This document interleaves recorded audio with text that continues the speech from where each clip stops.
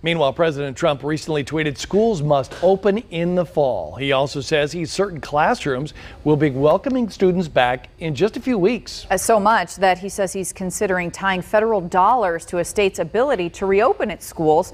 Our Washington correspondent Jesse Turner explains.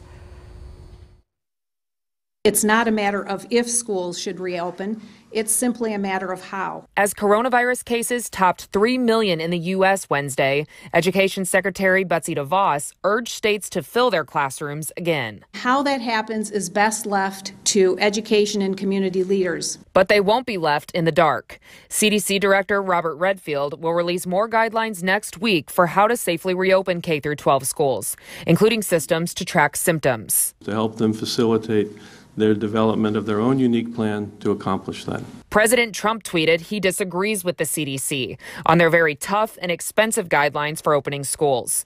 But Redfield said these are not requirements. It is not the intent of CDC's guidelines is to be used as a rationale to keep schools closed. Well, we have a long time to think about the school stuff. The president told me in a one on one interview Tuesday he is considering more than just the impact on students. The parents don't know what to do, and they have a job, and now they're all starting to go back to work. So we want to see the schools open. Labor Secretary Eugene Scalia said reopening schools is especially important for lower wage workers and single parents. The pace and structure of our national life is built around the expectation that our young people will be in school in person. Vice President Mike Pence said Congress should create incentives for districts to reopen. But President Trump has also threatened to withhold federal education funds from schools that remain closed. In Washington, I'm Jesse Turner.